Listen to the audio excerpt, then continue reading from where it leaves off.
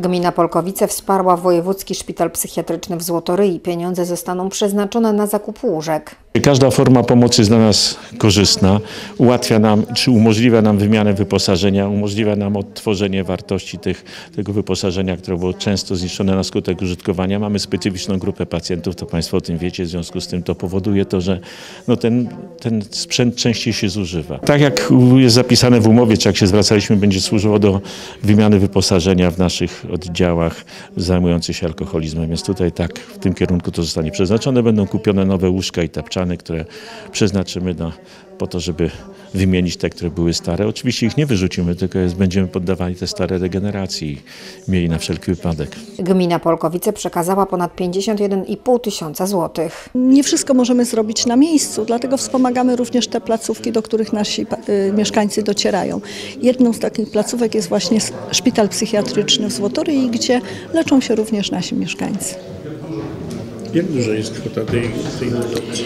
51 600 to jest kwota, którą przekazujemy na zakup łóżek w tym szpitalu, y, ponieważ no, jest taka potrzeba. Te łóżka bardzo często są niszczone przez pacjentów, to są bardzo specyficzna grupa pacjentów, którzy tam jest leczona. No i wychodząc naprzeciwko tej potrzeby wspomagamy placówkę. Uznaliśmy, że dużo naszych mieszkańców korzysta z tego szpitala i w związku z tym taką kwotę wyasygnowaliśmy. Mamy taką informację, pozyskaliśmy około 100 w ciągu dwóch lat. Taką mamy informację po prostu ze szpitala. 100 pacjentów. Pieniądze, które przekazała szpitalowi gmina zostaną przeznaczone na zakup łóżek dla pacjentów, którzy zmagają się z uzależnieniem od alkoholu.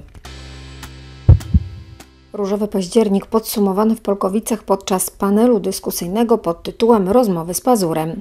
Podczas spotkania kobiet omawiano sprawy związane z profilaktyką raka piersi. Spotkaniu przyświecało hasło Badajcie się i dbajcie o siebie. Zachęcam wszystkie panie, wiem to na swoim przykładzie, aby e, korzystały szczególnie z programów, e, jakie nam tutaj gmina e, finansuje. Są wszelkiego rodzaju kampanie, aby badały się, głównie tutaj chodzi o mamografię piersi, o USG piersi, o cytologię, bo profilaktyka jest najważniejsza. No i edukować się w tej dziedzinie. Na szczęście świadomość kobiet w zakresie profilaktyki rośnie, mówi Lidia Brzonkowska. Z tego co obserwuję, to z roku na rok coraz więcej pań jednak przychodzi, korzysta z tych programów, ponieważ bierzemy również udział, zapisując panie na poszczególne badania, więc widzimy, że zainteresowanie jest ogromne. Czyli no, jednak y, panie chcą o tym rozmawiać, chcą się badać i, i, chcą się edukować. Myślę, że jeszcze bardziej należałoby chyba tutaj tych kampanii wzmocnić y, y, i zapraszać właśnie osoby, bo no, nie wszystkie jednak chcą się ujawnić ze swoim problemem. Warto pokonać lęk, który często hamuje nas przed zrobieniem badań, dodaje wiceprezes Stowarzyszenia Klub Amazonek Polkowickich. Ten lęk zawsze będzie y, w nas. No, wiem to po sobie. Dostawałam y, bardzo często skierowania na mamografię, ponieważ jestem w takim wieku, gdzie darmowo te badania powinnam y, wykonywać, ale jakoś tak zawsze nie do końca, że nie miałam czasu, tylko się bałam, a jak wykryję, jak coś będzie i co wtedy, tak? A dzisiaj już inaczej na to patrzę i rozmawiam ze swoimi koleżankami i widzę, że jednak to postępuje w bardzo dobrym kierunku. Te badania nie są bolesne. Chwila i już jesteśmy po badaniu, już jesteśmy przynajmniej ten rok spokojne, że nic się nie dzieje. Także jak najbardziej zachęcam do tego, żeby, żeby się badać. Mamy program dotyczący nowotworów i szczepienia przeciwko e, HPV u dziewczynek, więc to jest ten nasz taki bardzo duży program. Oprócz tego inne programy, które dotyczą już kobiet dorosłych, prawda, nie tylko tych wchodzących w okres dorosłości. Rozmowy z Pazurem były wspólną inicjatywą gminy Polkowice, Polkowickiego Centrum Usług Zdrowotnych i Gazety Polkowickiej. Część naszej widowni towarzyszyła nam tutaj w trakcie wydarzenia, była z nami, za co serdecznie oczywiście dziękujemy. Część wydarzenia przenieśliśmy do internetu. Ostatnie miesiące, ostatni czas pandemii pokazał nam, że bardzo wiele tych działań powinniśmy e, i musimy e, również prowadzić online. To jest również ta strefa, którą dedykujemy tym osobom zajętym, którzy mogą odtworzyć nasze wydarzenie wieczorem, kiedy kładą się już spać, kiedy znajdą tę wolną chwilę. E, Myślę, że takie połączenie jest tutaj dobrym rozwiązaniem, żeby te, ta tematyka, szczególnie jeżeli dotyczy profilaktyki zdrowotnej, e, dotarła do jak największego grona. W pewnych momentach trudno było jakby wrócić do rozmowy, trzeba było przełknąć, em, przełknąć łzy, tak?